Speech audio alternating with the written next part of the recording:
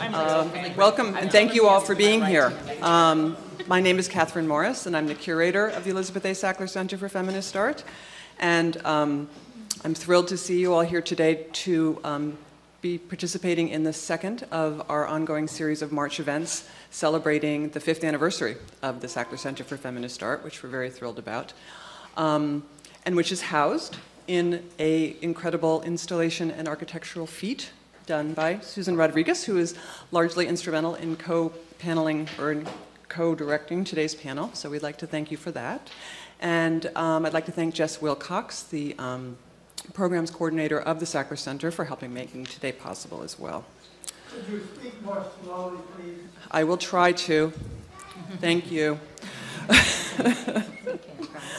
Today's panel, Women Shaping Our World, Architecture, Gender, and Space, it focuses on the fact that the past decade has seen an unprecedented rise in both academic and popular interest in the possibilities for cultural adaptation and examination in the fields of architecture and design.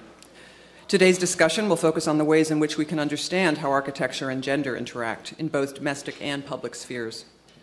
We are so pleased to be hosting four women prominent in the architectural field who will share their views on the social and political implications of their work. They are Anne Fougeron, Principal, Principal Fougeron Architects, San Francisco, Toni Griffin, Director, J. Max Bond Center, City College of New York, Susan Rodriguez, Partner, Ennead Architects, and aforementioned architect of the Elizabeth A. Sackler Center for Feminist Art, Karen Stein, writer and architectural consultant, New York. Today's discussion will be led by John Cary, who I will introduce, and then John will go ahead and introduce in a more comprehensive way our four panelists. Um, our moderator and, co- and panel co-organizer, John Cary, is a Brooklyn-based advocate, speaker, and writer who has pioneered a career exploring the intersections of design and social change. His first book, The Power of Pro Bono, was published in 2010. He's also the editor of publicinterestdesign.org, and his writing has appeared in an array of publications as diverse as CNN.com, The Christian Science Monitor, Fast Company, and Good magazines. Among other honors, John, says, John has held the Rome Prize Fellowship at the American Academy in Rome. Thank you all for being here, and um, at the end of the discussion today, we'll be able to take some questions, and we look forward to having an interaction. Thank you. Well, thank you all for celebrating St. Patrick's Day with us here. We uh, forgot or didn't get the memo, so there's no, no green showing up here. But um, uh, we also know it's a beautiful day and, and are grateful that you're taking your time of your weekend to, to join us. So we have a, a great conversation structured, I believe. Um, uh, we hope to make it as interactive as possible, certainly amongst the panelists, and welcome as many questions and thoughts and ideas from, uh, from you all as well. Uh, the presentation will be videotaped and, and broadcast on the Brooklyn Museum website. And um, uh, I'm sure there'll be some other kind of live tweeting and that type of thing. So we've included just a couple of hashtags, uh, women and architects, and then actually the handles, the Twitter handles for Brooklyn Museum is just Brooklyn Museum. And I don't know if anyone else tweets, but mine is John Cary. So you're welcome to, to tweet about this. Um, so we have a, a, great group of panelists, and um, one of the things, despite the fact that one was just read, I, I actually uh, uh, never enjoy hearing people's bios read verbatim. Um, and so I just wanted to tell you a little bit, a couple of little anecdotes about each one of the people here because they're really extraordinary practitioners in different ways. Um, a couple of which are uh, working as licensed architects um, uh, and then two others of which are kind of broadening the way that I think the public really comes to understand uh, design. And so Anne Fougeron, who's uh, kind of in the middle of this side of the table, uh, is somebody that I, I know best. Um, she's a, a, practitioner in San Francisco, does really extraordinary work, um, a lot of uh, residential work, but also some really important civic projects in San Francisco. Um, she raise her hand? She could. She can.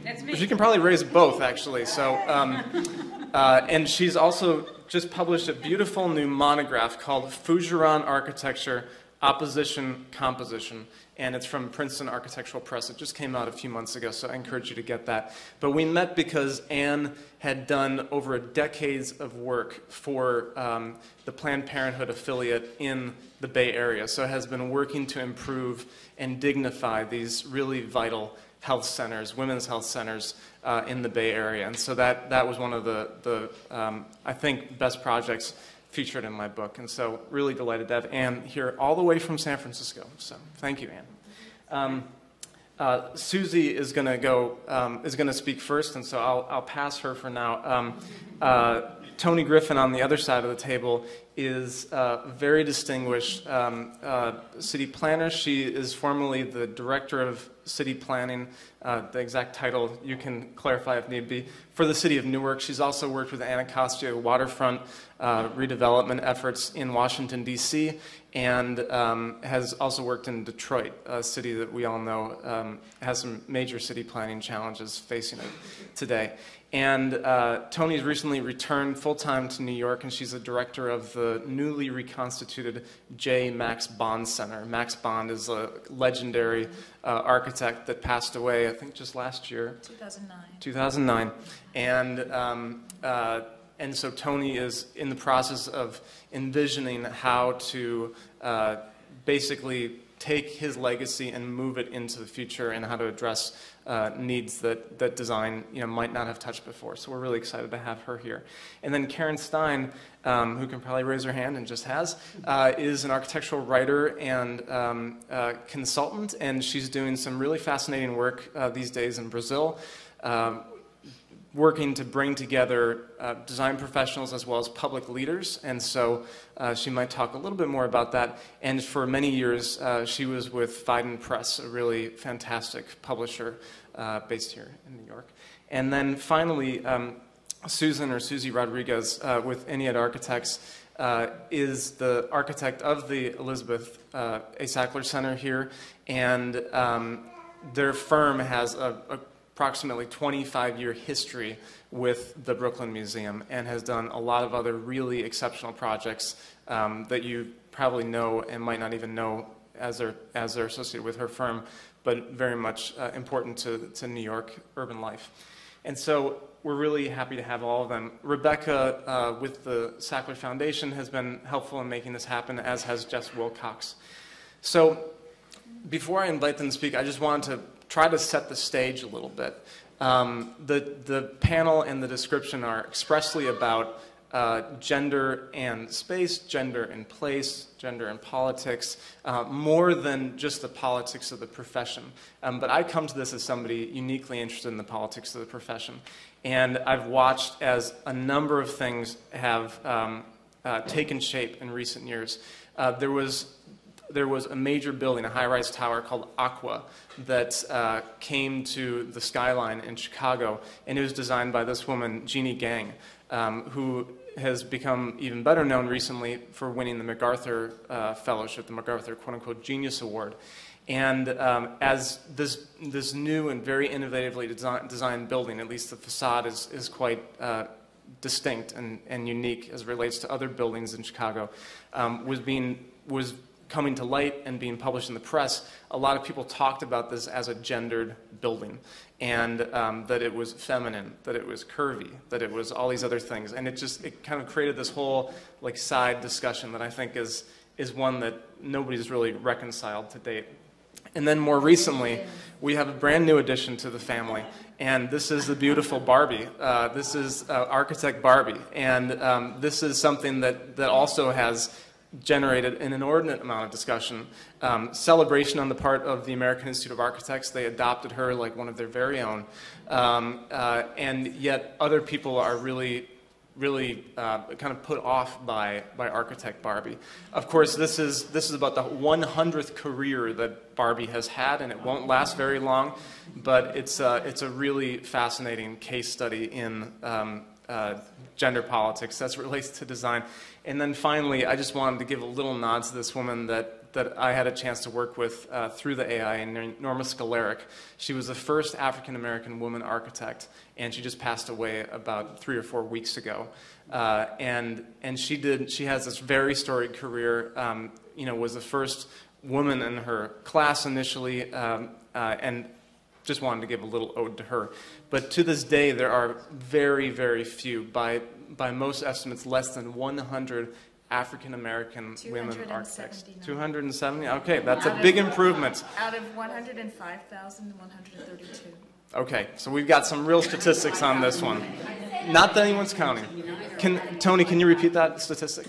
Uh, I was going to save this for my remarks, but I'll do it now. So there are uh, just over 105,000 licensed architects in the U.S. 24% of them are women. 279, of which I am one, are licensed African American female architects. Let's just let that sink in for a second. Um, so with with that, the way that we've structured this is that each one of the panelists will will um, have just a couple of minutes to talk about either an image that they've provided, um, or and or a small reading that they've brought, or just another thought that they might have. And then I have some prepared questions, and I know that you all might have some questions as well. But I wanted to, to turn this over now to my co-organizer.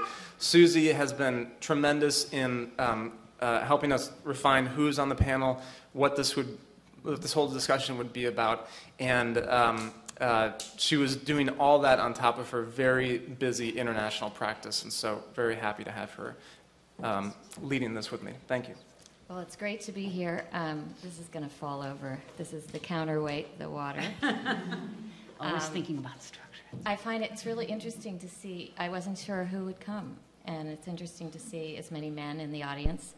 Um, and uh, and I think John's courageous to join uh, four very opinionated women on this topic. But I think it's a it's a tricky topic, um, and I think um, all of us have done a lot of thinking about it, but I think we don't dwell on it.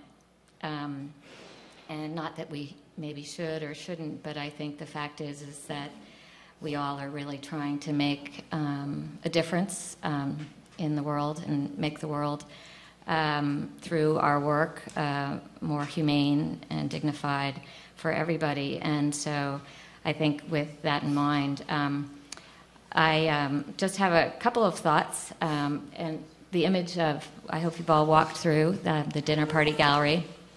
Um, why a triangular room? To think that that was never in a triangular, triangular room before was kind of a shock to me. Um, and so it was a great opportunity to work with the museum and to really um, celebrate the voice of women um, in the arts world and just generally. And one of the things I hope when you walk around in a counterclockwise way, as Judy Chicago is intended, that you reflect literally on the fact that the um, space is lined with glass. And that is really intended to both its subtle angling, um, really infinitely reflects the importance of the guests and the dinner party and its role in um, really women's voice and feminist art and beyond.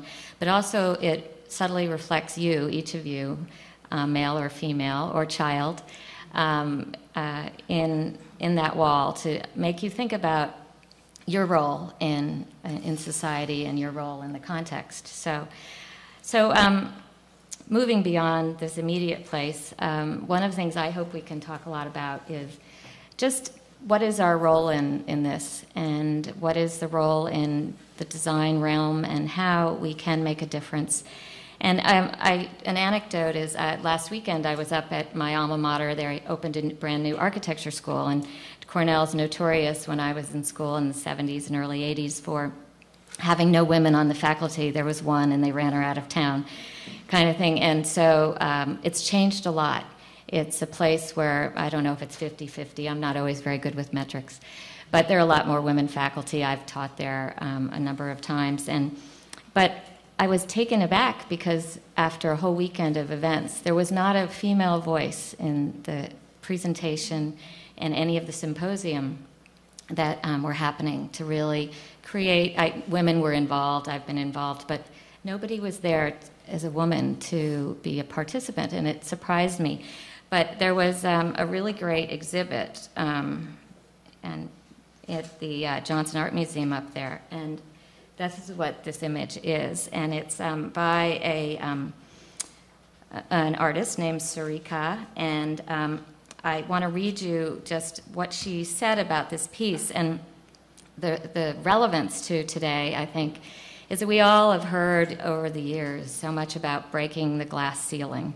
And, you know, it's kind of an overused uh, metaphor, and I think it presumes that women individuals are trying to move up, you know, move up, and I think we're just trying to move and get things done. And I think that that's really important. So the name of the exhibit and this piece is in line of control. And I think the issue of a line is actually more relevant and the line that we cross, that we walk, and that we have to have the courage to move and uh, over is really, really important. And this image um, is actually a, really a video, and it's in line of control. A mere marker pen traces a random boundary. An ant is caught within this drawn frame, unable to get out, because it imagines the drawn line as a boundary. It hesitates to cross the line, but never stops walking towards it in a way in anticipation of the unpredictable. Finally, at the end of the video, which this is, um, by choice or chance, it comes out or crosses the boundary. In this spontaneous one shot work, the artist contemplates a being's behavior when confronted with boundaries, real, imagined, and metaphoric. Boundaries are made by human conditions. They are often imposed, assumed, accepted, and acknowledged. Sarika's video addresses several implications of a boundary, which acts as an agency of control, power, and bifurcation be it of geography, gender, color, or otherwise. Uh, this particular work plays on the ambiguity of our choice to be in or out, our indecisiveness and our euphoric awareness of and against, something which we have been deeply conditioned into. Through the co- discourse and practice of art, one becomes aware that a boundary is a construct, like the pen line to the ant. And I, I guess I found this a very um, provocative condition because I think that these lines that we draw for ourselves and that are drawn by others are incredibly dynamic. And sometimes you find yourself right at that line, should I, and making that decision, should I really push? And as it relates to issues uh, and points of view as a woman, and then sometimes you find you are so far on the other side of the line and in very hostile territory. And then, you know, like reading the Times today and reading about one of these um, Republican candidates, um, that you realize they're setting the line so far back. And so, right now, for I think that trying to be careful. I think all of us as women coming together, the idea of women and community and men are very much a part of that, is giving us the continued confidence to be effective and to really um, be able to step up. And but confidence is a lot of it, and certainty, and to really have the guts to know, you know what your intuitions are good, and but you can really choke yourself with these lines and I think we all probably feel that at times. And um, but to really be able to also realize when you're crossing the line, what you're endeavoring to get into. And I think my, my last thought is that, and we a couple of us all had dinner um, in the last uh, few weeks, and just about the skills and the level of excellence you need to operate in, I think is really, really very uh, of utmost importance. So. I guess we can just go this way. Yeah. But um, anyway, I think everybody will hopefully um, will bring a point of view to, to um, each of this, and you know, I think that we all practice in different ways, and I, we hoped to get people with shared ideals, I would say, yet on the other hand, doing it in very, very different ways and engaging the public realm and uh, in very formative ways. Mm-hmm. Okay, now I don't know what to say because she did such a good job. So um, anyway, um, I, I think that I, you know I I engage in the world as an architect because I have my own firm um, as a woman that I run on my own, which puts me, I guess, in the three percent realm. So not quite as bad as African American women, but you know not so great either. So um, and so I operate in that world constantly and have for many decades now. And for me, that is the reality of how things are and, and whatever that means, and however it means, and however many lines get drawn in the sand, and there are many, believe me, at many different levels, those are the sort of realities of what I try to sort of interpret. I think the thing that I found over time more and more, and this is, um, there's a little slide of mine somewhere, this is the slide. Um, I was just in Paris, and th- there's been a, a big discussion in Europe right now about women and their rights, and there was the Woman Women's Day or something like that. That was, I think was the 8th of March. But there was this huge billboard in Paris, and one of the most prominent avenues in Paris. And basically, the billboard says, for those of you who can't, I'll translate easily. Which what I love because it said, "And what about if women were?" And then in parentheses it says, "Also."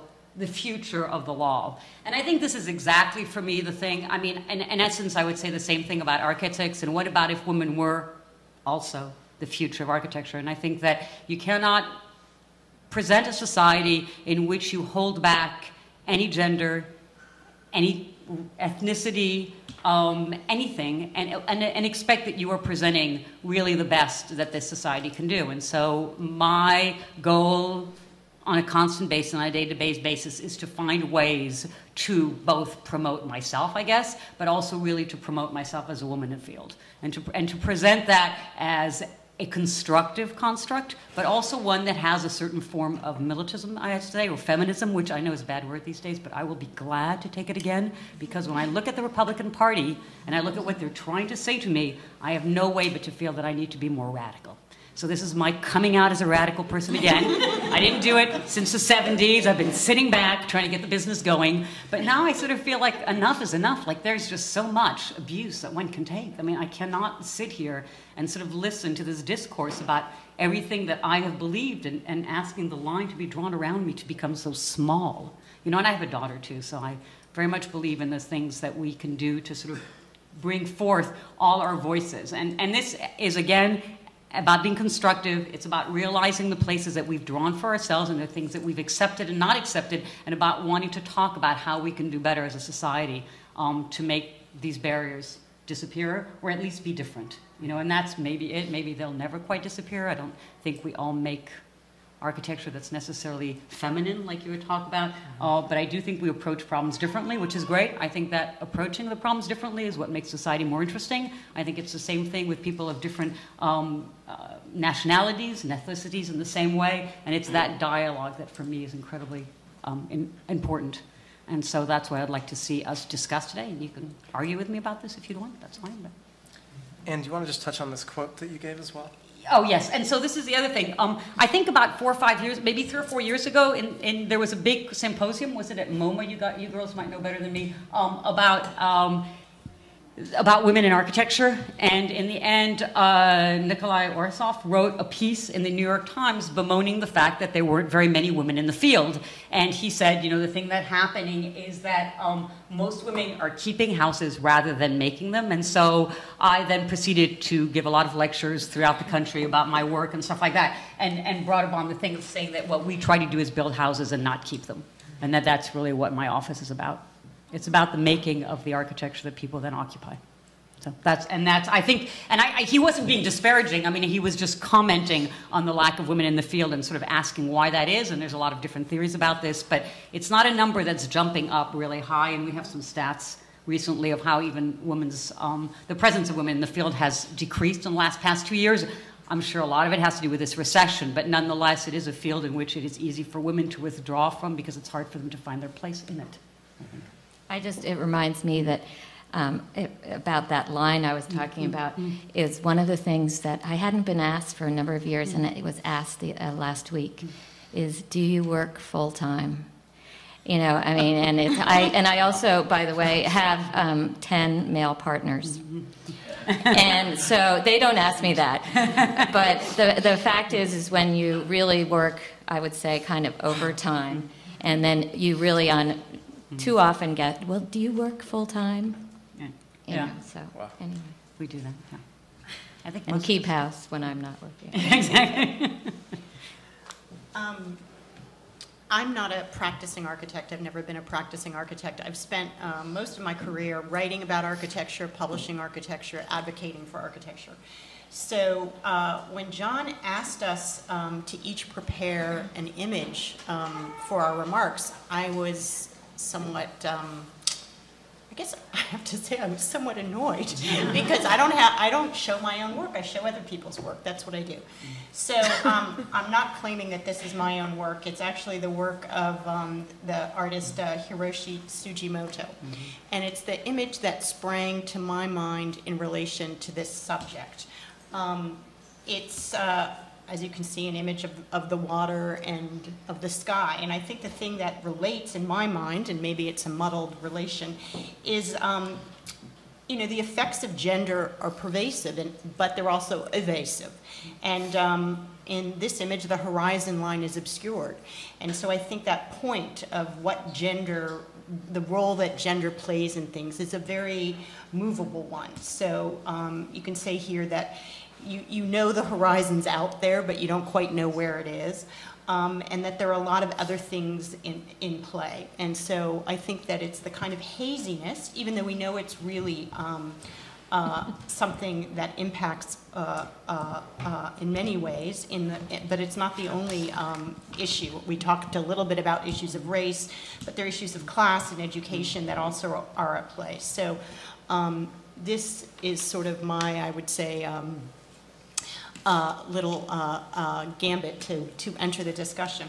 I would say that I had a funny um, uh, kind of experience as a result of this because I thought, okay, well, here's a hazy image. Let me try to also present some facts about uh, women in the profession. And so I went to the website of the American Institute of Architects thinking there would be some very easy to find facts about how many women there are in the profession. And I was shocked and I would like to say appalled that the facts that I found about women in the profession on the American Institute of Architects site were from 1974. and and these were the facts that women represented at that time in 1974 39% of the labor force. And in 1974, the percentage of women architects was 1.25. Mm-hmm.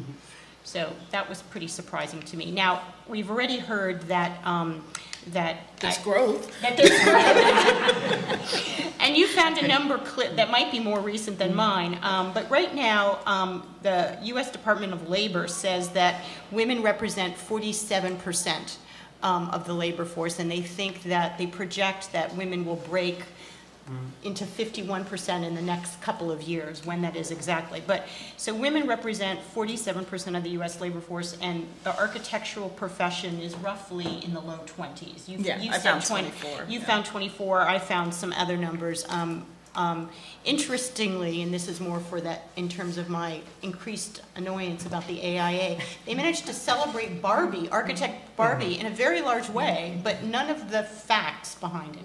Um, uh, but I did find that the Royal Institute of Architects um, in, in, in, in Britain had more recent facts, and it showed that actually during this economic um, recession, women dropped out of the profession at a higher rate than men, which is an interesting um, thing.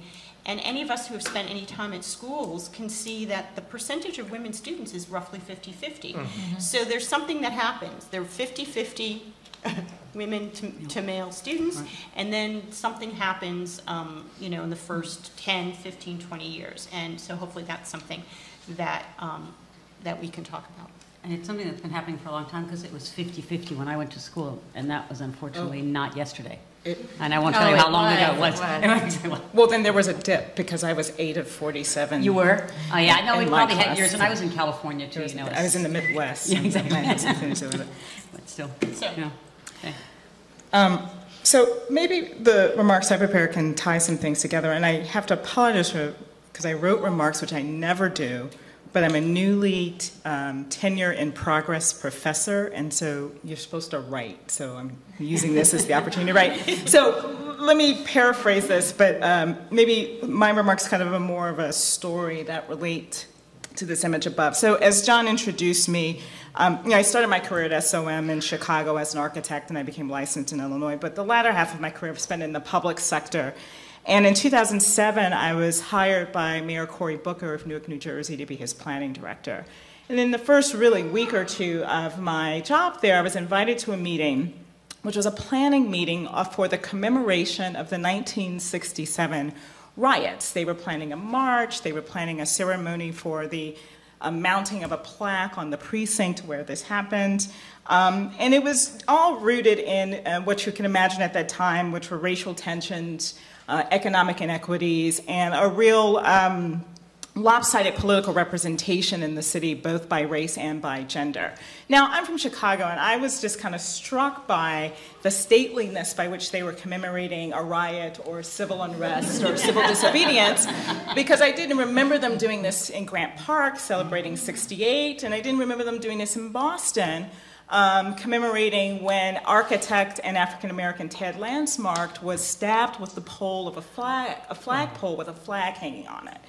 So I just thought this was really interesting. So weeks go on, I start to get into the content of my job as planning director, and one of the, the major projects we did was the master plan for the city, which required me to really understand the, the trends and dynamics of the city. I'm just going to read a couple of them to you. So in 2007, Newark was a city of about 280,000 people. 51% were women, and as we know, 50% of this country is now female. Uh, 25% were children under the age of 18, and 31% of those children were living in poverty. Only 35% of the population had a high school education, and nearly 50% of all households were women. So it's very clear in these demographics that um, the, the, the, the city is very much, and its, its populace is very much female oriented. The caregivers of young people are very much female oriented as they are running households at 50% uh, uh, of the city. Um, so, the images that I put before you are from the 1971 plan of Newark done by Skidmore, Owings, and Merrill. Now, I was struck by many things. Number one, I had never seen blight rendered. I, which is the image on uh, the uh, right. I, I, hadn't seen that before. But once I got past that, uh, what struck me is, and it may be a little fuzzy to see, I apologize, uh, that in the center of each of those images is an African American woman. On the, the right hand side, she's pregnant in the blight situation, and on the left hand side, she's carrying her newborn through the newly renovated urban renewal model city uh, neighborhood. Now, this happens to be work that was in the same neighborhood of the demographics I was telling you before and uh, uh, about uh, the riots. Um, what's interesting is the demographics of 1967 and the demographics of 2007 in the center ward of the city are not very much unchanged. We, as policymakers and designers and others and elected officials, have allowed the same concentration of poverty and families and women and children to live in the same contested spaces for nearly 40, 50, 60 years. And so we should be asking ourselves what can or should women uh, do as designers and policymakers to become pro- more proactive in addressing these very specific needs of this very large constituency that's living in our cities? Can architecture produce new housing typologies that accommodate the working mother? Should planners be thinking about uh, how to limit the number of trips, either by car or by public transportation, that a working mother has to do within a week?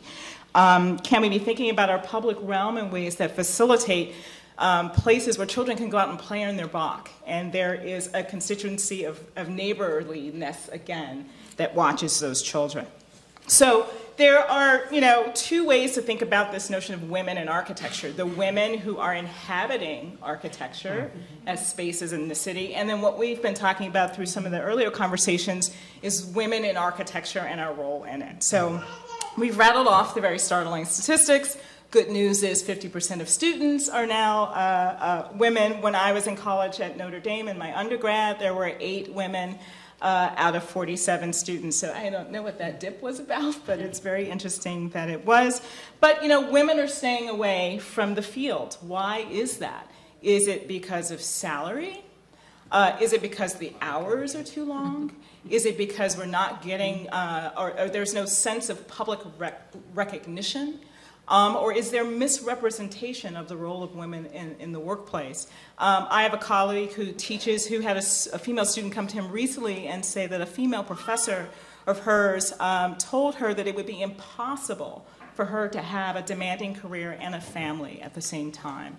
Is this still what we're telling ourselves and our daughters in, in 2012? I, I submit that one of the things that I want to talk about today is how we maybe begin to redefine the perception of what architecture is. I sit here before you with a Bachelor of Architecture. I have a fellowship from Harvard. Um, I've licensed as an architect. I've been a public city planning director, and now I'm a professor. How we think about the field as inclusive of landscape architecture, urban design, mm-hmm. planning, mm-hmm. sustainability, perhaps is in that perhaps lies some of the answer to how women think about their role in this profession and more importantly, the fact that while we're 50% of the larger population, less than a tenth of 1% of us are shaping that in the traditional field of architecture. But if we allow ourselves to expand that definition, there are so many ways as design professionals we can really contribute. So I hope that our conversation uh, can build off of some of those things. How many people here are architects in the audience? Great. So it's, it's awesome to see that being a, a relatively small number, actually. Um, and so some of the stuff that, that has Consistent been. with our statistics. Well, that's true too. Um, uh, so we might have glossed over some things as to like what it takes to become an architect or a designer of any kind. Um, so if you have questions like that along the way, we can certainly try to decipher or decode some of this stuff. Um, there were so many points, so many points that we can jump off in this in this conversation. uh, but I I have to admit, like I come to this a day after some very um, disturbing news that you've probably read about relative to um, this activist Mike Daisey and Apple and his appearance on This American Life and that kind of thing, and then even as it relates to the work of um, Invisible Children in this big film called Kony 2012. If you haven't seen the news, you probably will at some points. I won't. I won't dwell on that. But I've just been feeling like very emotional about some of these things that have have come to light, and um, I kind of feel the same way about some of these statistics when they come our way. And uh, uh, on a more hopeful note, as I was, you know, kind of preparing for this panel with my partner uh, uh, Courtney Martin, who's here. Um, she asked a question that she suggested I pose to the panelists, and it too struck me at like a very deep level. And the question is this: Do you feel? Do each of you feel at home in this field? And if not, what would make you feel at home in this field? You, you know, my first reaction is, yeah, I've made myself at home in this field. Okay, I, I, I yeah. Why wouldn't I? no qualms. No. Y- y- y- Here we go. See, there are some. Okay. As an African American woman, um, it was in, a, in Notre Dame, and then at Skidmore, Owings and Merrill, so I was really pretty alone. Um, to me, it was important to be good, and that is it. That's it. I didn't think about the color of my skin, and I didn't think about my gender. I sat in the middle of a room with white people, and we worked, and we designed, and we strove for excellence. I want to be an architect ever since I was 14, period.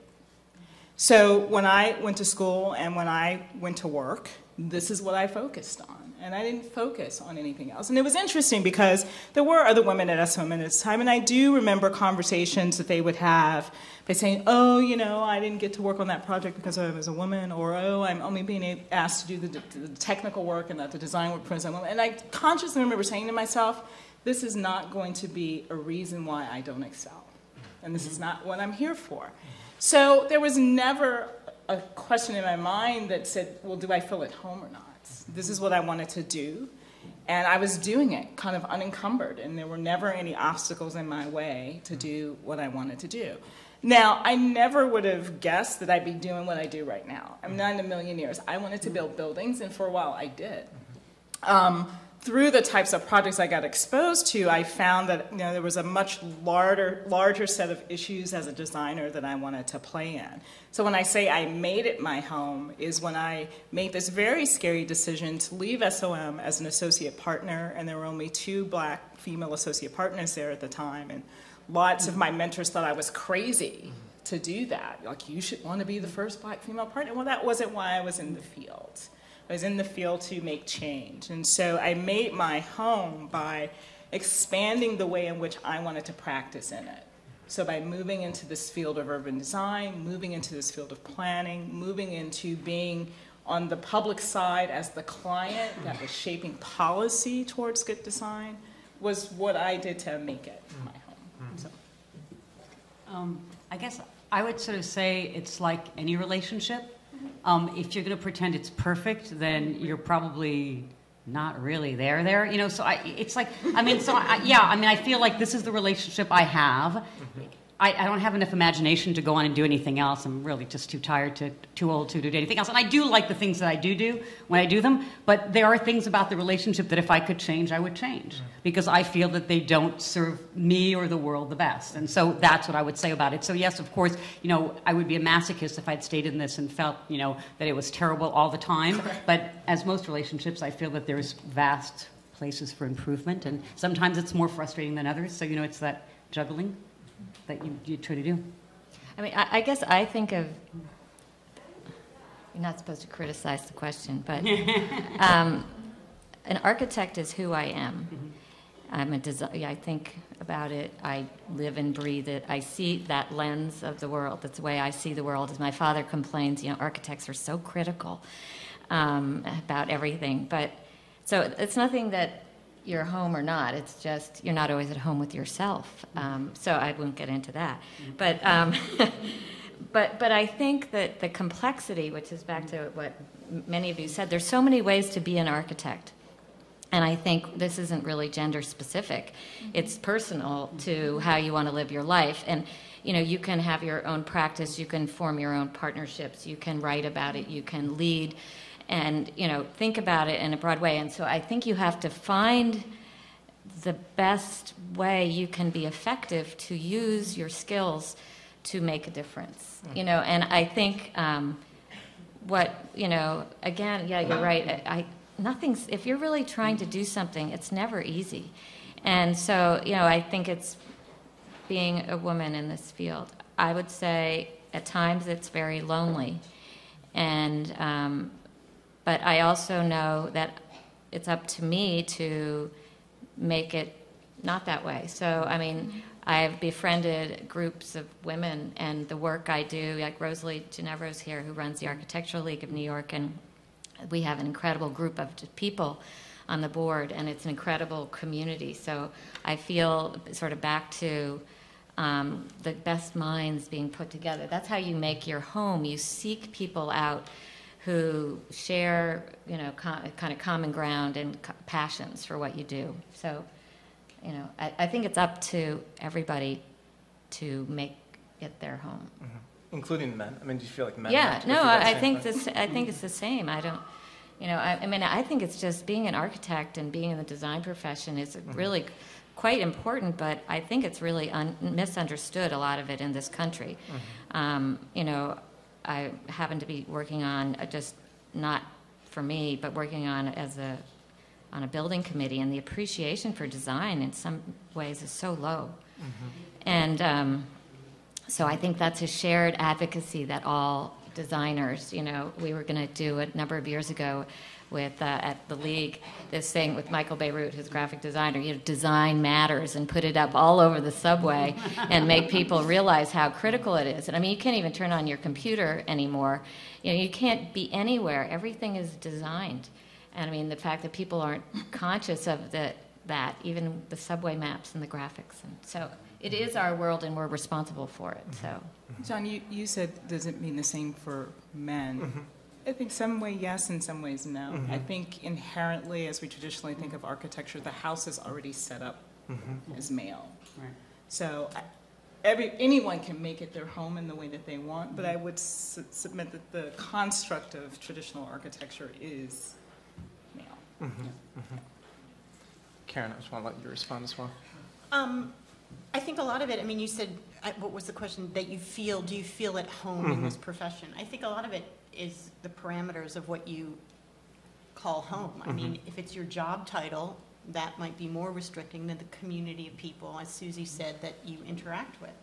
Um, You know, when you work in publishing, which I've done for many years, there are actually a lot more women in publishing than men, and maybe it's because you're overworked and underpaid, and so somehow, but anyway, so I, I, I, I think that, that, um, you know, in the day-to-day, um, uh, I always had this very interesting experience when I was at Architectural Record. I was writing about architects, and most, I mean, 99% of them were male.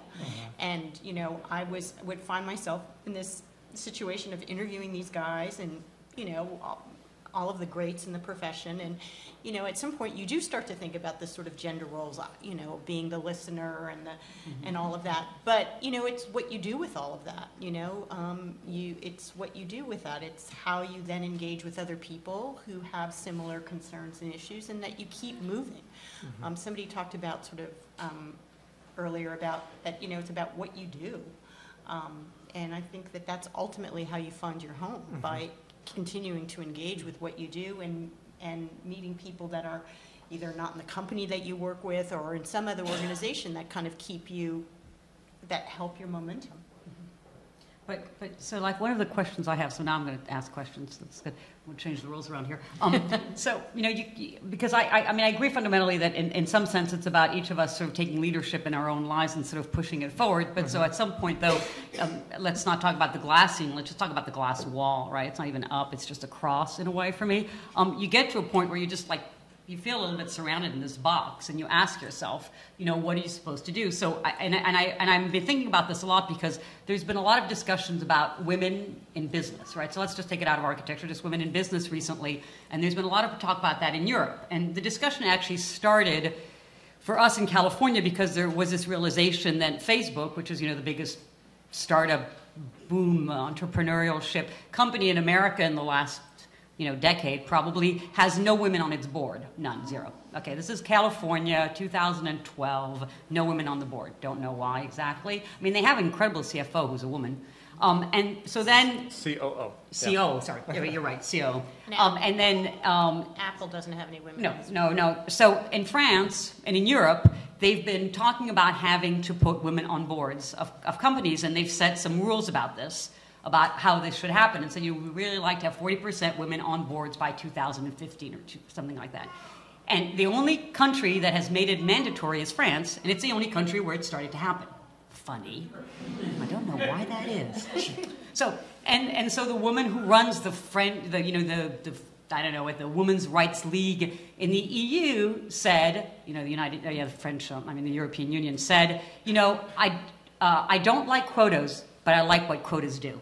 Right. Well, yeah, I get that. I mean, nobody maybe likes quotas, but you really like what quotas do. So, you know, the question is, I mean, how much more dynamic do we have to be? And this is a question I pose because I don't know. I don't know the answer to this, but I think you have to realize that sometimes it takes more than one person to do something. It takes a family, a group, in this particular case, probably women, I have to tell you, because, I mean, I, I know the guys want to help, and that's great, but somehow, you know, and you can, of course, and so can you, but also us women have to help ourselves, right? I mean, we also have to take it on. We can't assume that other people are going to fight this fight for us without us being present. So, and I don't know what the answer is, but I, I think that, you know, the, the example of Europe and, and the difference that it's made and, and, and seeing how to push that agenda, to some extent, it takes really this kind of reorganization of your thinking and maybe doing things that you don't like inherently, but that you need right now as a constructive way of moving on is just a question that I ask to all of us, really, because I'm wondering about this all of a sudden. It You know. takes intention. Yes, it It's- takes- yeah. It's like And the vigilance. conversation. And vigilance, I think, It's, right? Yeah. it, you can apply the same argument to why we did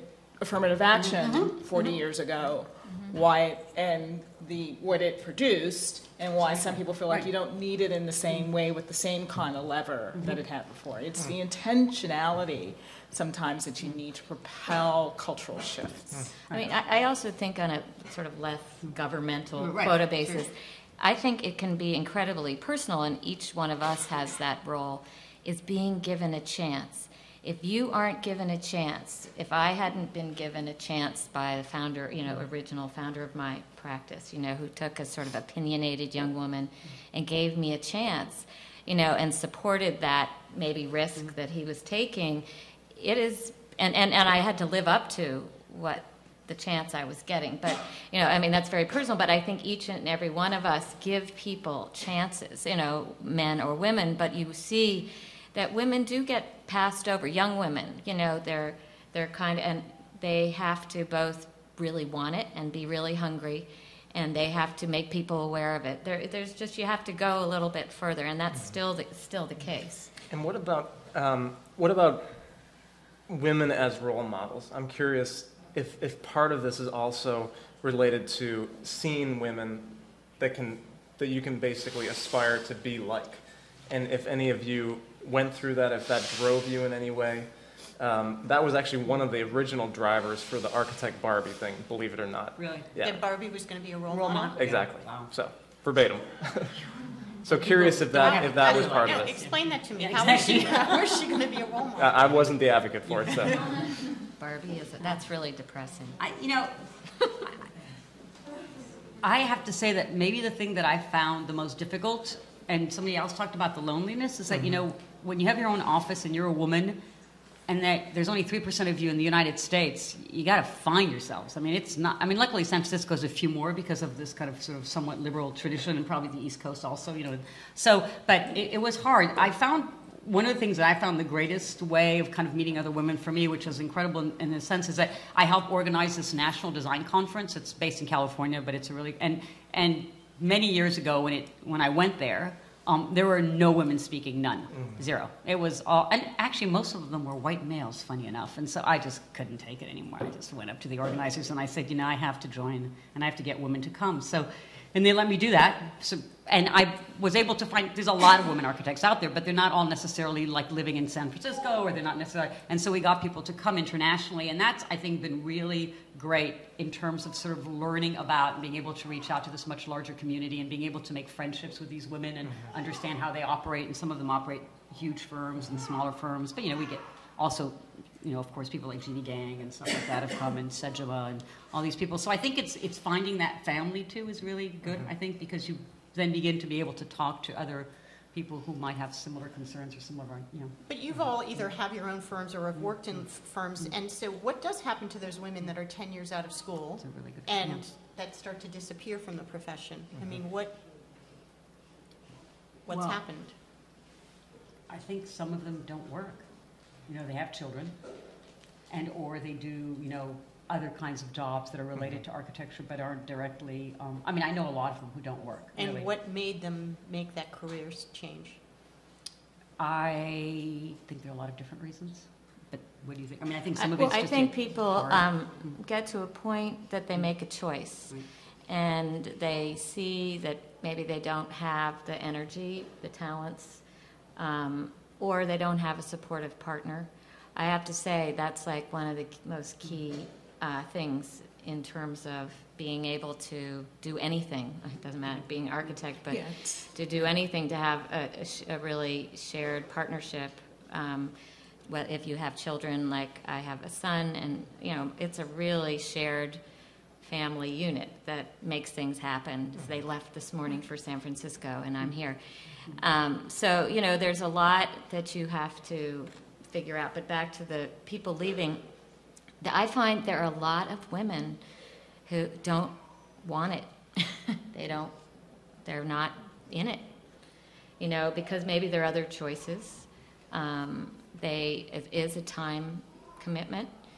Um, I, I, you know, boy, do I wish I had some other female partners. um, but you know, we have. I, the, I have the statistics somewhere, but we have, I think, about 33 percent women, maybe a little bit more, 33. Um, but you can see already very few of they're setting themselves up for being less engaged, just partially engaged. You know, they'll, they're do, there to have their job. And when you asked, "Are you home in the profession?" It's a job. It's a profession. It's not. Um, Yeah, I mean, it's about, it's, it's really about the culture of the workplace. Again, this is whether you're an architect or, or, or not. So Yeah. fifty percent of us are in the, you know, in the workforce, right? But have workforce cultures change to reflect women and their other demands of family to support them in the same way that it is always already set up for men and their support systems to affect them. So it gets back to housekeeping, keeping house, designing house sort of phenomenon. So has our workplace culture adapted to accommodate accommodate um, a successful, ambitious woman and her ability to excel in that workplace and her family life. So it requires the family unit choice, but I think it also requires us, our workplace culture has to change a little bit to do that. And, and I found in my time at SOM um, that because that culture was so unforgiving to accommodate that, women just had to make individual choices. So many of my contemporaries, you know, started a family and they couldn't keep up the pace, and the pace wouldn't change to accommodate them, unfortunately. So they had to make these individual choices. I think another reason goes back to the point I was raising around. Um, or that we should be thinking about is how to get women and the profession overall to expand its definition of what it is. I think this is necessary for maintaining practice as well as just how you think about the different ways to use your architectural education mm-hmm. to affect the things that you care about that you went in there to do. And not everybody will be, can be, or wants to be Jeanne Gang mm-hmm. just in the same way that everybody won't be Frank Gehry. Mm-hmm. So that is just a fact that's given. It does not mean that you cannot have an illustrious and impactful and in stellar career affecting this world that you went to school to, to, to um, alter. And I think the profession itself has to start talking in these broader terms in order to expose women to a broader range of opportunities in which they can be equally successful um, whether that's entrepreneurial and starting your own practice, which so many women do and are very effective at, why our publications and medias and things aren't talking about and lifting those up more is another kind of topic. But again, there are different ways with which um, perhaps we can practice, and maybe that's part of it. I also just kind of going back to the architect Barbie thing, I might be the only woman on the panel that isn't so offended by it. And I guess I say that as a kid who used to play with Barbies. Um, you know, no one exposed me to what an architect was. And in fact, I will admit, uh, one of the things that inspired me to want to be an architect is Mike Brady on the Brady Bunch. He would come home with his drawings, he'd have his whole office and colored pencils, and I used to draw all the time as a kid. And I was like, so that's a job. You can do that. Remember, he made buildings And that looked so like lipsticks and a and white man inspired me to become an architect. What is wrong with my Barbie carrying that same thing and a little girl going, oh, you know, No, this no, is no. something I can be. The challenge I do have with it, though, is that you know, you, you know, you're saying AIA had this big ceremony. Yeah. You check the box and go, okay, we've we've, We've covered done that. That's what I was afraid of. That's Yeah. where the rub is. Yeah. But I think Yeah. you know, I wish you had brought me an architect, Barbie, because Well, I. let- you'll get one. No, But, but this is this you know you can't these are not one-off things you do and problem is solved Yeah. right Yeah, I just want to say that yeah. uh, I, it's funny about Mike Brady because he had a drafting table in his home office, that. and that's what I wanted. I wanted one of those drafting tables. So I had the exact same um, reaction. But the, the thing about the architect Barbie that offended me was not the architect Barbie, but was that that was sort of the representation of women on the AIA website. So Yeah. that's what I had a problem Yeah. with. Yeah. That- And just, just to put a fine point on it, there have been two women in the 150 year history of the AIA that have been, been presidents of the AI. Two women, Women, of yeah, 150. And um, you know, the- there's approximately three women on their 59 person board of directors. It's, it's like heavily, heavily male dominated. And this is a profession, like, but they were just so excited about this doll. yeah, It was because just- if you, You know, were to ask them, If they'd gotten it right, though, her tube would have been black, not pink. Well, that's true. Uh, they do have they do have a racially diverse version of that doll. I don't know if you've seen that. so i need this one Yeah, yeah. it's uh, it's wild. this is So, your quest Yeah, I'll try to find that one in particular. So let's open it up to um, to the audience. Uh, uh, I see a couple questions up here. Mercedes first. Um, I actually, I want to follow up with what you've been talking about right now as far as your personal roles and um, what you do as far as advocacy and how you have to be vigilant and have a choice. How do you individually, uh, how are you proactive with your own advocacy and especially with mentoring younger women? Do you reach out to them um, in the same way that they may often try to reach out to you? Do you make yourself available? Do you make that a point to be in touch with younger women and to say, look, stop planning for this like partial engagement. Like be fully engaged in this. I mean, what what is your role in that? Um, my personal choice was through education and teaching. So I had made a conscious decision at a certain point in my career that I wanted to split my time between practice and education. So I started teaching at Harvard, and now I'm at the City College of New York. And I thought that that was the way to kind of get in front of women coming through the field and help them understand how broadly you can impact it. So on a regular basis through the curriculum I create, I feel like I'm mentoring. And it's neutral, it's, it's gender neutral in a way because I think as young folks coming up in this field, you all need to understand the ways with which it's important to, to diversify the way in which you practice. You know, I think mentorship is tricky. All of my mentors when I were younger, up until really, really recently, have been men and majority white men. I think you have to find a mentor is someone you connect with around your shared goals to help you Yes. succeed and has that as your best interest, and you shouldn't care who they are. Now, I did, my, my very best friend who I met on the first day of high school is also an architect and she's also African American. She has her own firm in Chicago. There was this point where, and we knew of Norma, so I was so really glad that you had that slide. Um, we sort of woke up in our 30s and go, you know what, we don't have any women to help us shape us as professionals. So then what we did is, and what I would advise is, and what I did, is I looked outside my field to help continue to build my professional mentorship. So it doesn't also, nor, so it doesn't all, it doesn't need to be someone who is exactly in your field as well. So the women who I come across, who I would say I mentor because of our personal relationship, really do kind of run the gamut. And a lot of them have come through my teaching in terms of how I access them. Um, I uh, actively um, pursue um, young women, bringing them into our practice as interns and hopefully as full time employees. I teach also off and on, and I always find that it's a really important time because you do see that hesitancy, you know, the line that people draw oh, I'm just a girl and I'm supposed to be doing other things and um, saying, you know, if you really want it, this is what you got to do. And, you know, and you still have a, a life. You know, I think that people, um, you have to speak up, you have to really be good and have great skills, and you have to really know what your point of view is. And you have to make a, I, I think it's very easy to move around um, and not be certain. And I think you have to develop a certain um, uh, clarity, I guess, because you have to make a lot of decisions. I think in anything you do, but I think it's really, it's really wonderful to see um, young women who I know had been looked over. And, you know, and a lot of times by the time I'm teaching, they're usually in fourth or fifth year, and you can tell that there's some innate talents in there that nobody's really given them a chance yet. So it gets back to my point there, and nobody's had a, had that dialogue that you were talking about, Toni. That you know, I most I would say I've never had a woman as a mentor, um, but the the men have somehow listened to me, you know, and uh, and had it. It was a very great active dialogue. So to try to find that, I think you know, I would think anybody you need to keep doing that too. You know, even uh, you keep looking for mentors when they're because I think when it stops being reciprocal, you know, and young people now. I mean, I think I still think of myself as young, but.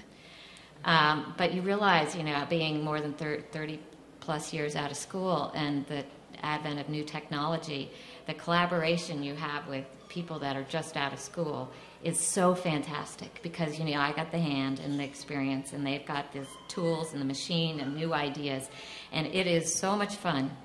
And I think that to actually, um, one of the things I think the tedium sometimes about this, these, this topic and conversation um, can be can be inspirational, but is to realize that you have to try to find something that you love to do, that you can really give um, wholeheartedly to, because then maybe some of those decisions aren't as hard to make, and so that you're really get pretty um, engaged and excited, and then it makes it easier somehow, and work with great people.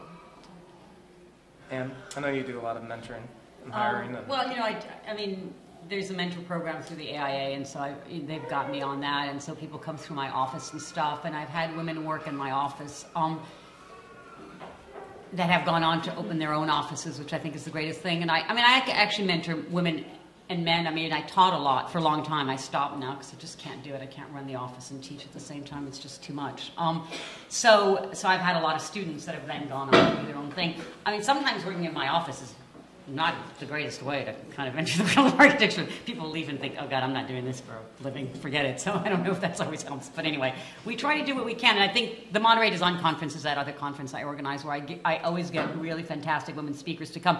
I think in a way that that's the most broad range that you can have because men and women like sit in this audience and, mm-hmm. and find and discover these new talents that they may not know about and i think that that's one of the ways for them to engage it and some of the people are just architects but they also do a lot of other things. Some of them are actually urban planners or hmm. writers or thinkers and, and i think that that for me is probably one of the ways that i think is the most effective is to see and to discover other voices Mm-hmm. and have them heard. I, I don't know if all of you mm-hmm. find this, but I feel like I am the mecca for uh, getting resumes from women mm-hmm. around the country. Oh, you know, and they go on our website and then they realize, oh, there's one girl in there.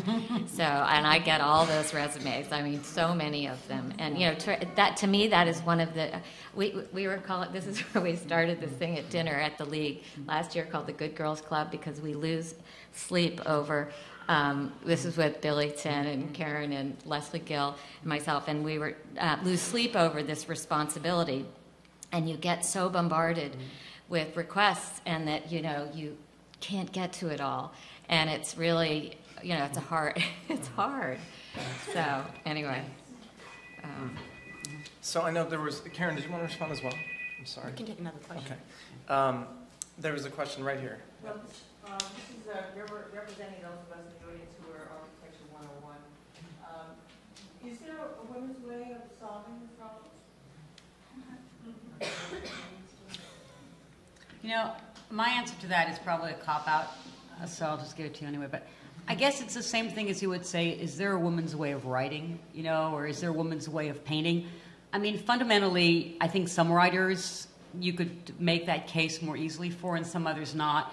So I think it's the same thing in architecture. Architecture is such a broad field, and there's so many different ways of doing it, and so many different ways of approaching the problem. So I think that that I, would have a hard time sometimes if I read a novel blankly with a you know with the author's name taken out of it, knowing whether or not it was written by a woman. Sometimes you wouldn't. You know, I mean, I think there are some books that are clearly so feminine in their sort of point of view. So I would say that it's a very much more sort of complex and interesting problem than just yes or no. You know. negotiating problems as opposed to? Yeah, well, I think, yeah, I mean, you know, again, uh, same thing. I think some of us are, you know, more apt at negotiation than others and more diplomatic than others. I wouldn't put myself in that first category, so Can you, probably can, not. I have a little twist on this question. Can you, are you, can you identify spaces that were designed by men?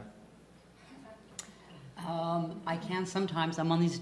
I do a lot of juries, and I was just on one here for New York, and there were certain buildings that I just absolutely knew were designed by guys. Uh, there's just no doubt. But also, I kind of knew the architecture sometimes. So you know, I mean, but but still, there were some that you're like, okay, just okay, yeah, no doubt.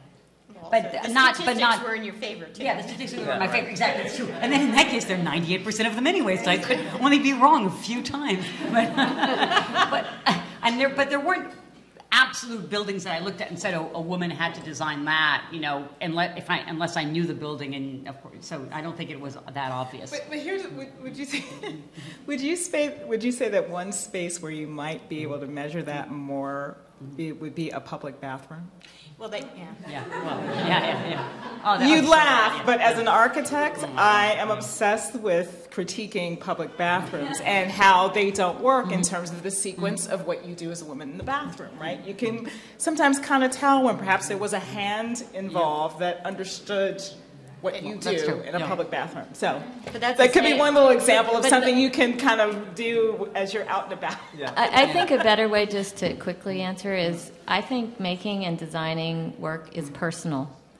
So that very personal. And that so I think that very often the personality of the individual and team of in, people that are involved will give the character to a space and a place. So mm-hmm. depending on the scale of public work, et, et cetera. So I mm-hmm. think that's more relevant to mm-hmm. the specifics of gender. Yes. Um, I thought there was going to be some talk about design today, even more than the bathroom.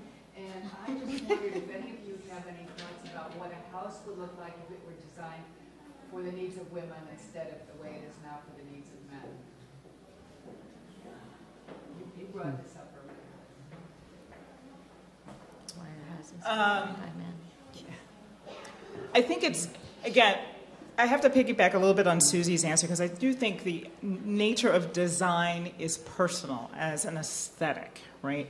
I think program, the programmatic aspect of design, I think, is what, what my comments were about earlier. So if we think about the different demographics of female households, and particularly female households, um, head of households with children, um, the way in which, for example, certain federal funding programs allocated to housing and how they restrict the design of certain housing isn't necessarily um, reflective of the changing dynamic of households, which may be um, several children, three to four, grandparent, um, the way in which we use the kitchen and dining room space kind of all as one, not a separate room here and a separate room there with a wall between it. So I think the sort of programmatic and functionality kind of components of how we think about our demographic um, need to be more aligned. And both men and women, I don't care who you are as the designer, needs to make that connection more. I think then it gets really to this sort of person, personal sort of But- approaches that you take on how you further articulate that as a design. but I guess I was thinking about it differently because aesthetics are one thing, you know, whether something looks good or not. But um, the issue of the personal is actually what you're, what inspires you when you do your work. In terms of some of us um, are much more inspired by program, and program for non-architects. That means you know the function, functioning, and all the, the things we're talking about, yeah. Yeah, and there are some people who really um, aren't interested in that. They're really interested in making it, it look nice. And so, to me, the most inspired work comes out of um, really engaging and understanding. If it's, you, you're asking specifically about a house, I actually have only designed residences really for myself, and I just did a sort of a exhibit for a family um, not a real house. And it's kind of interesting to to think about that dynamic. But the changing, I don't think women designers can be are more responsive to the changing role of family. I mean, I think that's just that life is different. So. Um, but I, but I also, your question was funny because I think we have been talking about design, and I think that um, the, the,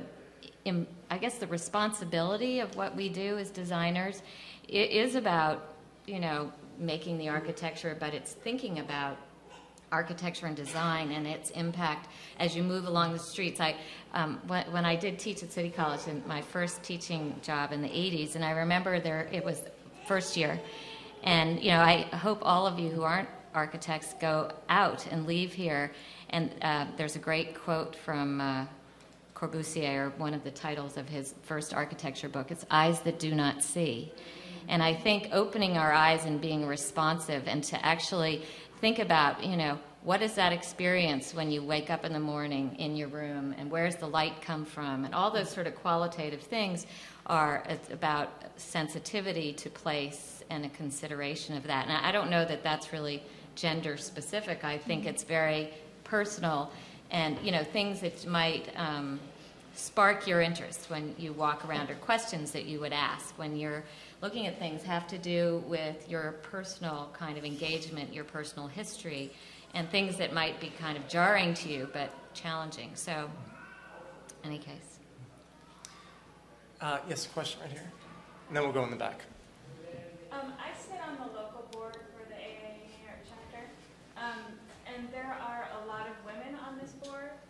And the local chapter also alternates its president, so there's a woman one year and then a man next year and that kind of thing. And so obviously, I think the perception is not there that there is equality in the AIA. Maybe it's because of the national, and I don't really know what it is for other chapters. But I'm kind of interested to hear from you what you think the AIA, besides maybe updating their website, which obviously they need to do, but um, you know what they should be doing to. Well, can I just tell you that um, in preparation for this, I contacted somebody at the AIA in order to get information, so it wasn't just the website.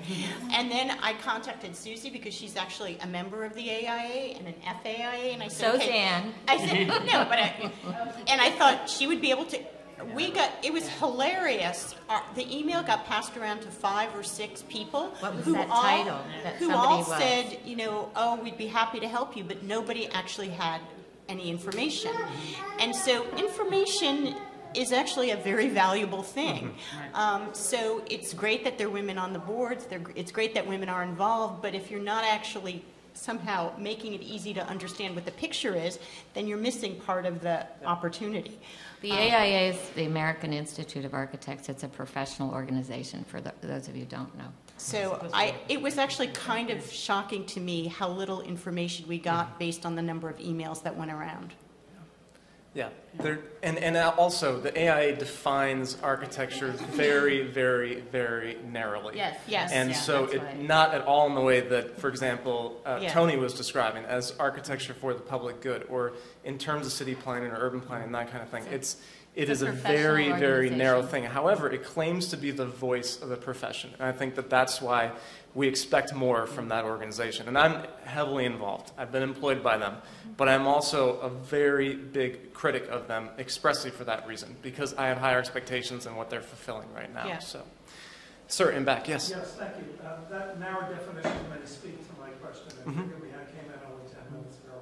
I work in career counseling, and the job projection literature from the Chronicle of Higher Ed to the Bureau of Statistics is very, very negative about job possibilities for architects. Mhm. I have some of these students who are creatively gifted in a broad sense of design, product design, package design, like RIT programs. What do you say to young people who want to go into this field, whether it's interior design or architecture in that narrow sense? Because the literature is suggesting, it's kind of like what a lot of the lawyers are facing. And it's always that delicate balance between encourage the dream, but what's the reality at the end? So Mm. how, how would you speak to young people about that? I mean, I think you said it yourself. It's a delicate balance because, I mean, certainly if you're speaking to people who are interested in, let's say, design and publishing, which, you know, is a sort of subset that I've occupied, that's an even bleaker picture. And um, on the other hand, if you just kind of repeat how bleak the picture is, um, it's not going to get better. So I think it, it's a delicate balance. I think it's about information and it's also about what people really care about and what motivates them and trying to make them, those things come together in some way to move things forward.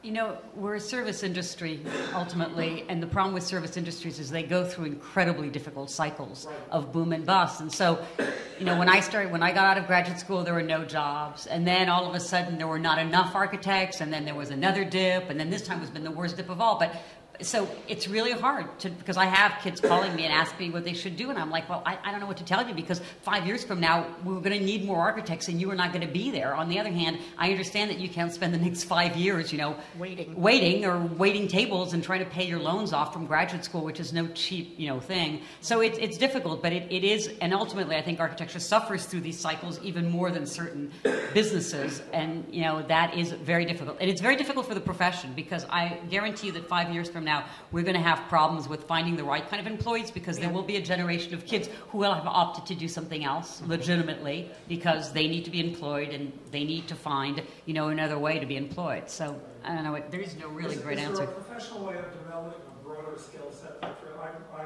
Sure. lived in the city Yeah, for right. years, but I'm near Rochester now. RIT has an amazing cornucopia of programs that are, take that design talent and apply it in many, many different. So if someone were to decide, okay, I will not go for a classic narrowly defined architecture, Mhm. but more broad design that could include interior design, other space design, is, is that kind of a strategy you might recommend? I just don't, Yeah. I, I, I just don't know that um, there are curriculums really set up in either junior or four-year institutions that allow that to happen. Because of the, the technical requirements of architecture, for example, that education is very, very narrow. I mean, I, I can count the number of electives I had over five years on one hand almost. It's, and I think this speaks to it as we're sort of talking about the broadening of the definition, the broadening of the field. uh, the academy has to kind of come alongside of that too, and perhaps in this really um, changing economy, which requires diversification, which is very entrepreneurial. I think some aspects of our academy also have to evolve to try to find ways of mimicking a more liberal arts structure that allow, I think, that kind of exploration and skill building that you're talking about. But I don't think I don't know of an example where Well, that exists that specifically. I mean, schools today, a lot of schools are talking very much about interdisciplinary education, you know, and design. And it's a bit of a debate because, um, you know, landscape architects are, are being mixed with architects and urban planners and so on. And there's a clear benefit to it, but then there are also some clear concerns about the depth of knowledge one needs to have. I mean, after all, one of the big things about architecture is liability, and there's an incredible depth of knowledge one has to have. And so, um, interdisciplinarity, I mean, knowing more about other fields, I mean, to me is always an attractive thing, but you also have to be able to perform at a high degree within your own field. So I think that there's a juggling act there as well, um, that if you broaden the definition, how do you also keep the the, the depth of field that you need um, in order to s- succeed in that profession. I mean, there's a there's such a broad opportunity though in terms of people who are interested in design now, in terms of digital design. And you know, one of my clients, I'm doing a new center for design and media for Mass Art. And it's a, one of the top 10 public art schools in the country in Boston. And to the point exactly, I mean, you do have to make some decisions in the beginning what you might want to become expert in because they have a notion, I don't know if any of you have heard about it, it's called the T-shaped student, and that before you can actually collaborate, which is the top of the T, the broadening out, you actually have to bring a particular expertise and know-how to it because otherwise you're really not collaborating at a very high level. Mm-hmm. So, you know, but I do think, you know, in so many of these schools, there's not, you know, there's the whole web design, you know, digital design, film and media, and the whole ability for design as a means to communicate. Architecture and interior design, I mean, those are definitely one way to do that, maybe in a more uh, permanent way, but I think that design is a much broader issue, and I think the, the needs for society to be visually literate, the same way you kind of need to be able to read and write, is uh, becoming um, a non-negotiable part. And so, you know, I think there are. I think architecture is one thing. Design is broad, though.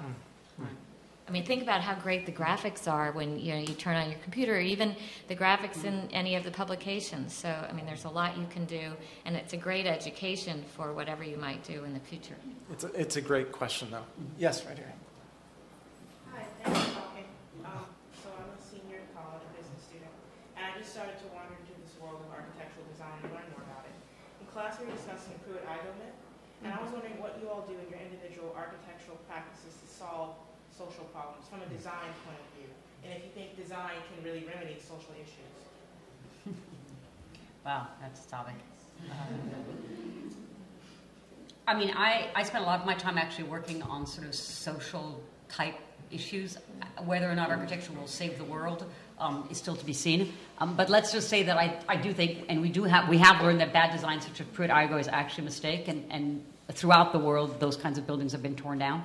Um, because they have promoted within certain classes and in certain cultures. I mean, it's very complicated because you know some of the buildings of Pruitt-Igoe that everybody hates, they're the same buildings that you have in Brazil. In Brazilian, people love living in them. So you also have to see that it's a context thing. But but let's just say that there are ways in which I think certain certainly architecture can improve um, and enhance. Um, you know the way that people interact with space. So when we do all the work that we used to do for Planned Parenthood, I mean a big part of what we talked about all the time was you know just sort of making spaces for women and men who are disenfranchised, who don't have a lot of money, that have a sort of dignity um, that's important and essential to both people who work there and also people who have to come there and, and enjoy the services or, or use the services. And that that's an essential part of how I think that you know good design is. But that's just sort of saying that, that there is democracy in design and that design doesn't have to just be at the top tier but also can you know be brought down and, and really matter at the lower tiers too.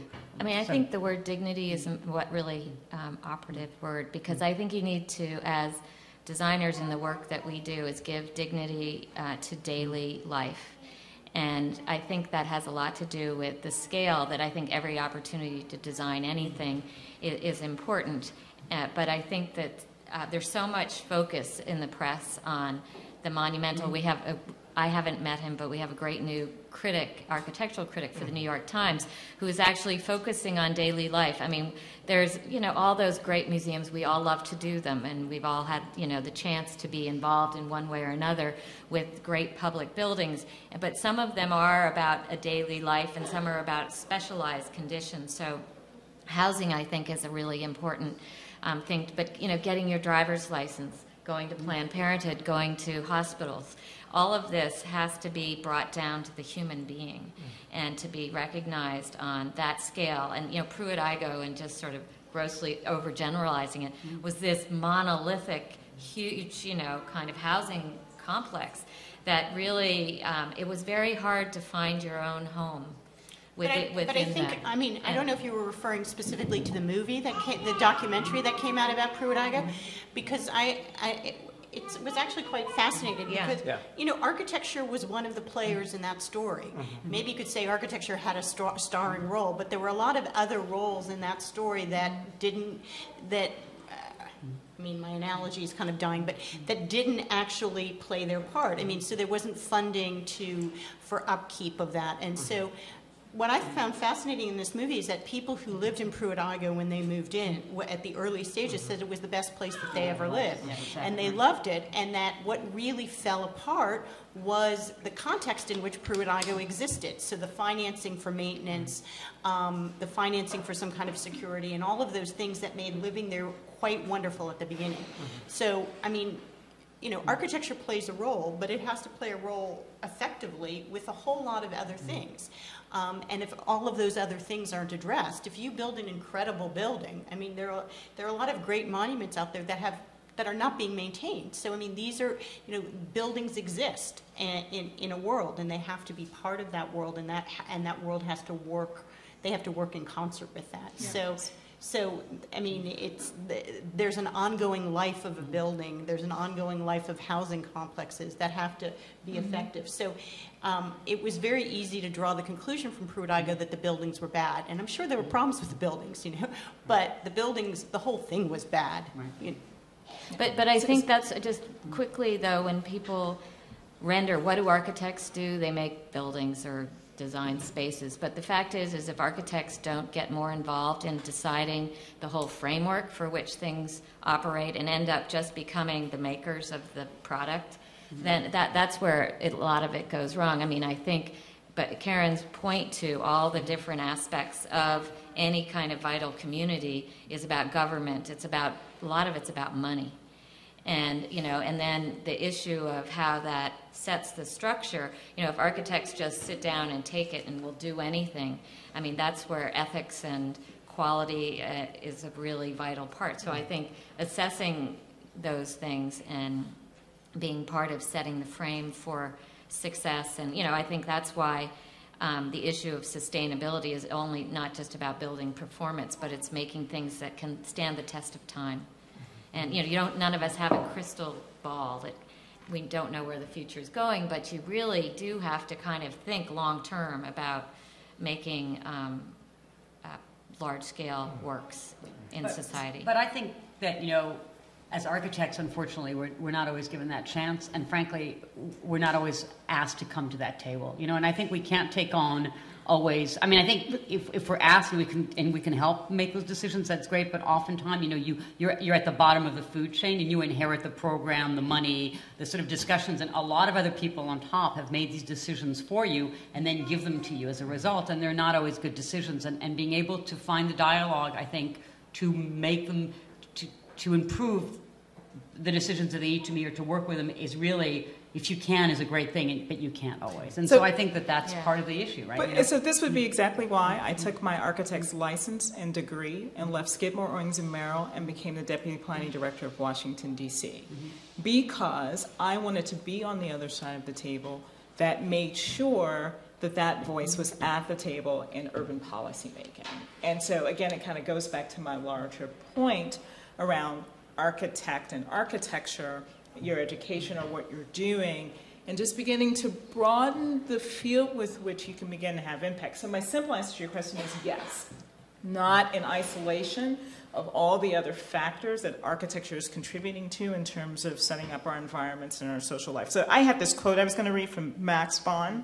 And I read it because when my center was approved at City College, it was called the, the, the Max Bond Architectural Center and you've heard me talk about my background, I just found that term both dated and limiting. Mm. And so I just recently, well, let me read the quote and then I'll, t- I'll tell you what I changed the name to. So Max uh, quoted when he was reflecting on his career that my work has been guided by my belief that public spaces and buildings should respond to their physical, social, technical, and cultural contexts, as well as the needs and aspirations of their users. I have sought to express this view through architecture practice, professional advocacy, public service, and teaching.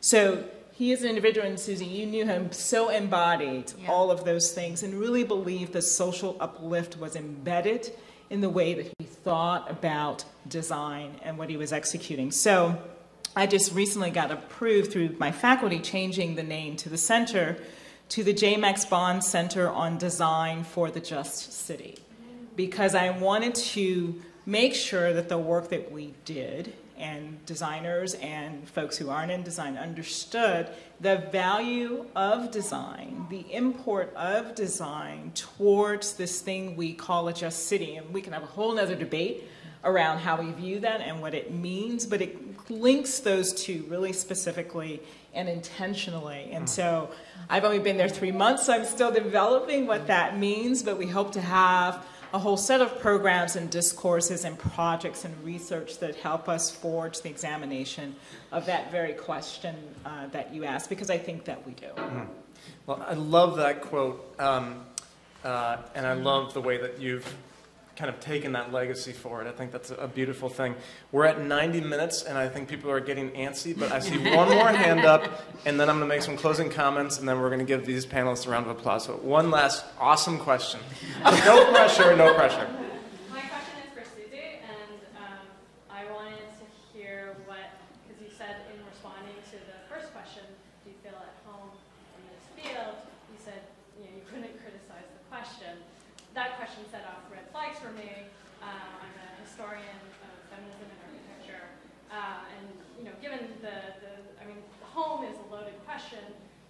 Given the, the history of uh, women's association with the home and with the domestic realm, and particularly, you know, in the women's early attempts to enter into architecture at the beginning of the, the last century, often being channeled into interior design or, or the design of homes. So that question, you know, for me was like a really loaded question, and I, I so I wanted to know what what was your criticism?